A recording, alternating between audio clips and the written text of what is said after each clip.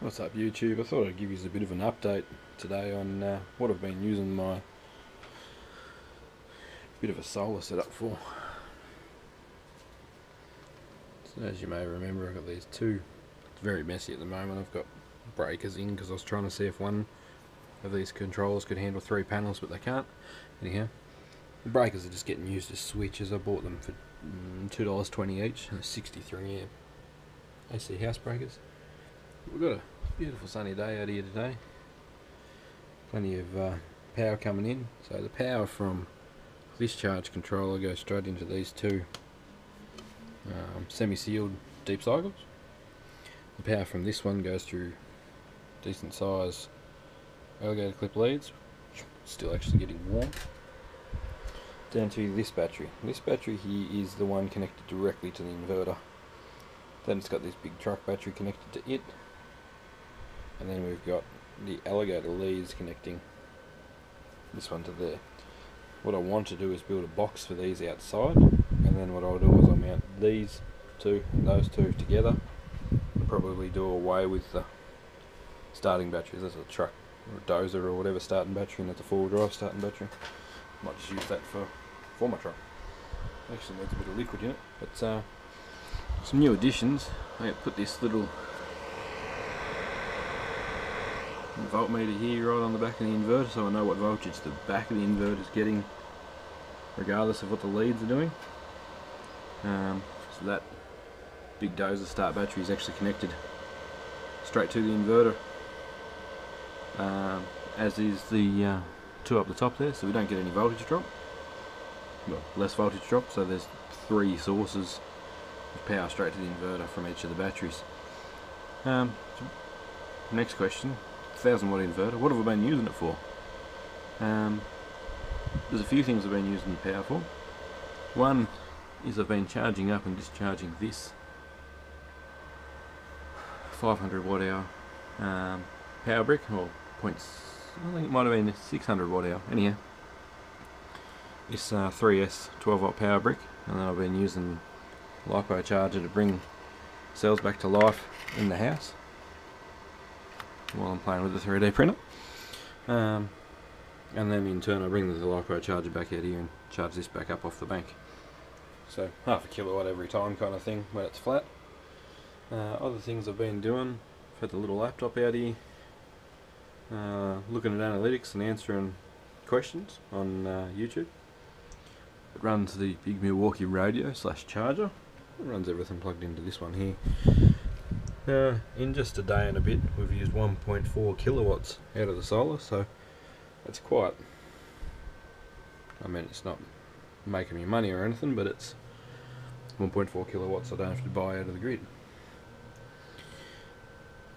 So this yellow one goes across the shed to this big desk, which runs a big Milwaukee charger and my multi-bay small Milwaukee charger. So this one can pull up to about 350, 400 watts depending on the batteries that are on it. That one only pulls about 60. So normally what I do is, if it's night or I'm running out of power, or the voltage drop gets a bit more serious when I put this one on because it's pulling 400-ish watts. And I've got a few of these batteries laying around that are flat. I line these all up on here and it just has 60 odd watts and one after the other after the other until it's done. So it's not as big of a load and the fan doesn't run on the inverter so the inverter's nice and quiet as well. Um, behind here I've still got my big bank of batteries that we're going to have to do something with. Um, my, my thoughts are if I use a step up converter like this, if I use two of these, if I set one of these to um, about 16 and a half, 17 volts, I can charge two of the cells over there with this off this setup out of the um, uh, power takeoff, which is the ones on the side which kick in when the batteries get full. So it'll just divert the power to this, send it over and charge those batteries, and then use the second one of these to charge three batteries. So one to charge two, one to charge three, and charge the three to 25, 26 volts. Which would mean that that pack would always get topped up, and I wouldn't be sitting here full of power and not being able to use it. Even with, let's see how much load we're actually putting out. So we're using 266 watts at the moment to run the um, battery chargers. Even with a 260 watt load, we're still holding 12.8 right at the back of the inverter, no issues. And uh, as soon as that load comes off, the voltage will jump straight back up again. So it's not really struggling at all. The other thing I do use my solar for, and there's the other boost control. Put them back together. The other thing I've been using the solar for is charging USB banks and 18650s. Um, I use them to charge my phone, my GoPro, um, things like that, cameras. So they're quite useful um, for obvious reasons. Um, yeah, I got to use them to uh, keep my Samsung S6 charged when I'm videoing or whatever with it because it just chews through power. Um, yeah, it's just just more free power. So I plug my phone into one of them for the night time instead of plugging it into the grid. It's just more power I don't have to pay for. Um, utilising uh, the power that comes in at a low voltage level and the USB banks at the same time as the high voltage level. I have uh, mounted my 10 bay charger up on the wall. I'm going to bring the discharger out here tonight hopefully and set that up. And uh, once I got a bit of a processing station set up, I just got to put some stuff away. Get this processing station set up again and we can uh, get back into processing cells. Because I haven't done that for a while. And uh, yeah, get some get some cells all boxed up ready to go for uh, various projects. I've got to finish the e-bike battery, it's just sitting in one of them boxes over there. But uh, basically it's end of August, so uh, summer's on its way here in Australia. I want to uh, be able to store as much of the uh, solar power that comes down out of my panels as I can. Um, so we may even build a really decent size one of these now. And now I've got a 3D printer, we might uh, just build some uh,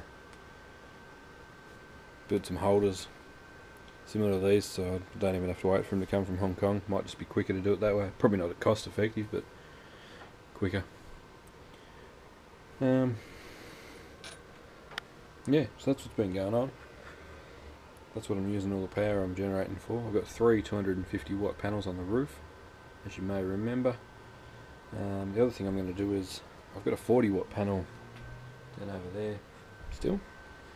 What I want to do is put that in a toolbox outside the uh, window where my 3D printer and that is uh, on a PWM charge controller with the little 40 watt panel feeding it and um, just use it to run some LED work lights and stuff like that like these ones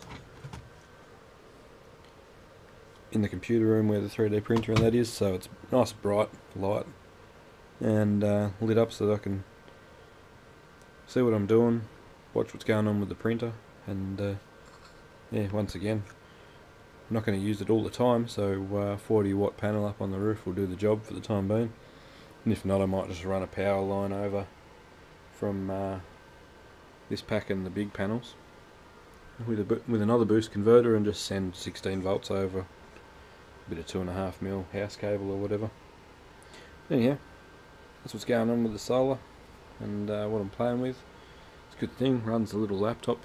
The only thing I don't like is when you try and turn the laptop on you get like a frequency fight between the laptop's switch mode power supply and uh, the other loads on the circuit and it does a bit of a tick tick tick tick tick noise trying to fire it up I'm um, not sure if I can suppress that with something if you know that I can let me know but uh, this one always starts perfectly and charges straight away so uh, that has quite often got a uh, battery in the back of it charging up and gets used as a radio out here for when I'm playing with stuff and uh, want to spend some more time out here, finish tidying it up, and uh, got a heap of projects that we need to uh, get happening.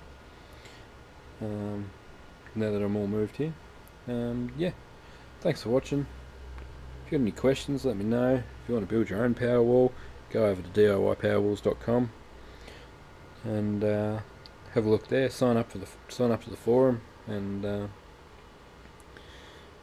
chances are, if you've got a question, they can answer it. Uh, go and watch um, Peter Matthews' channel, HB Powerwall. Go and watch Average Joe's channel. Uh, they're all building Powerwalls out of uh, 18650s and awesome inverters, and uh, Joe's using UPSs and things like that. So, yeah, go and watch some of their channels. Enjoy. Thanks for watching, guys.